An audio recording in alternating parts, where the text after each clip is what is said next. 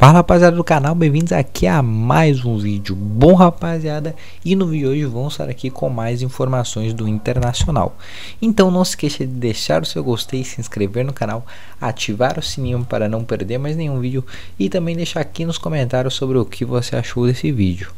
Também não se esqueça de virar membro do canal Onde você tem direito a vários benefícios como vantagens em receber notícias antecipadas do Internacional, sorteios do Internacional e também você tem direito a receber sorteios do Internacional com camisetas oficiais todos os meses, ok? Então não perca essa oportunidade de vir membro agora e ajude o canal, ok? Bom, o que, que eu vou falar nesse vídeo? Eu vou falar sobre uh, o a informação sobre o departamento médico internacional. Hoje saiu uma atualização do departamento médico de vários jogadores lesionados agora no Inter e eu vou trazer aqui a atualização para vocês. Também vou falar sobre negociações no Internacional e vou falar sobre o Patrick, né? Vou falar sobre se ele pode sair do Internacional ou se ele vai ficar no Internacional, ok? Então não se esqueça de deixar o seu gostei e bora para o vídeo. Bom, rapaziada, vamos então com as primeiras informações, né? O Inter que ganhou ontem do Deportivo Tátira por 4 a 0 já reassume a liderança do grupo. Tudo vai depender hoje do jogo contra o Olímpia e Always Ready, né? Jogo às 9h30 da noite. Que se o Always Ready ganhar o jogo, aí ele vira o líder, né? Porque ele vai ter 6 pontos. Bom, o Internacional, né, que fez uma grande partida ontem, conseguiu abrir o 3 a 0 no primeiro tempo, Teve um jogador expulso, ainda conseguiu ser predominante na partida mesmo com expulso, porque se não tivesse o expulso, eu acredito que seria muito mais de 4, poderia ser até 6, 7 ou até 8 gols. Uh, o Internacional ainda perdeu vários com a menos.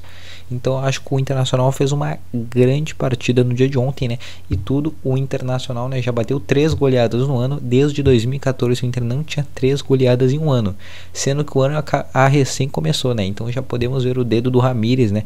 Que ele faz um gol e ele não se fecha, né? Ele continua aberto, querendo fazer mais e mais e mais gols, né? Isso é uma isso é uma estratégia muito interessante, né? Porque, por exemplo, tu vai ganhar de 4, mas aí toma 2, mas é um jogo mais interessante, né? Tipo, tu ganha de 4 a 2, ganha de 3 a 1, ganha de 3 a 2, ganha de 5 a 2, 5 a 3. É sempre um jogo movimentado, né? Como ele disse quando ele chegou, ele quer sempre mostrar um espetáculo para o torcedor colorado e foi isso que ele conseguiu mostrar no dia de ontem. Bom, tivemos algumas baixas, né? No entanto, tivemos duas baixas. Rodinei, né? Craque da lateral direita, jogando mais uma vez muito bem, né? Fazendo um cruzamento para o Cuesta e fazendo uma grande partida. Tá com uma entorse uh, no, joelho, uh, no joelho e deve ter uma reavaliação diária. Eu acredito que não é nada muito grave, mas fica aí o Rodinei já fora, no mínimo, contra o Olímpia. Já o Zé Gabriel tem uma lesão muscular na coxa esquerda, né? deve afastar aí dos gramados também com uma reavaliação diária. Acredito que fica fora do Juventude e do Olímpia. Porém, uma volta é o Lucas Ribeiro, né, que estava com edema no joelho, ele está voltando, já, já voltou aos treinamentos no dia de hoje. Então, provavelmente ele deve estar à disposição contra o Juventude e contra o Olímpia, né? A ele que é o último zagueiro assim dos que já foram titulares remanescentes, né? Porque Moledes e Gabriel agora estão machucados e tem o Pedro Henrique ali, né, como possível zagueiro, mas ainda uh, muito inconsistente, né? Um zagueiro que está voltando também é o Roberto. Lembra do Roberto? Ele está voltando também de lesão, então pode ser mais uma opção. Ele tinha também uma lesão de ligamento no joelho, né? Mais uma de ligamento de joelho quando estava ainda no Paraná, então está voltando agora, ok? Então vamos agora às negociações no internacional.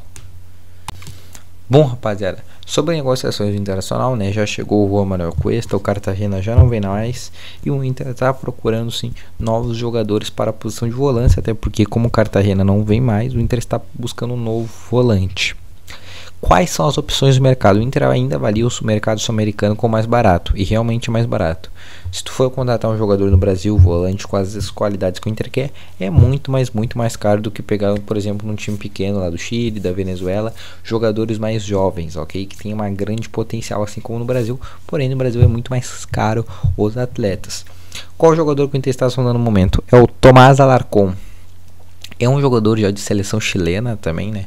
É um jogador volante, muito parecido até com assim o biotipo do Gary Medel, né, que é um que é um volante do Chile também que ficou muito tempo na seleção, né, Já jogou na Inter de Milão, Galatasaray, uh, entre outros times. Então ele tem mais esse biotipo assim de baixinho, roubador de bolas, né, e com uma grande qualidade de passe curto e passe longo. Tem vídeo aqui no canal já de melhores momentos do Tomás Alarcon e eu recomendo você ver porque é um grande jogador assim nessa parte de condução de bola, passe curto, passe longo e dá uma grande mobilidade ali no setor meio-campo e ofensivo do Internacional e poderia ser também um grande reforço para o Miguel Ramírez, né? Mas o que, que o Inter quer sobre o Tomás Aracon? Ele tem 22 anos, então ele não iria para o sub-20, sim já para os profissionais da equipe colorada. Lembrando que a janela fecha daqui 25 dias, então o Inter tem 25 dias para contratar jogadores de fora do Brasil. Depois só poderia contratar jogadores de dentro do Brasil.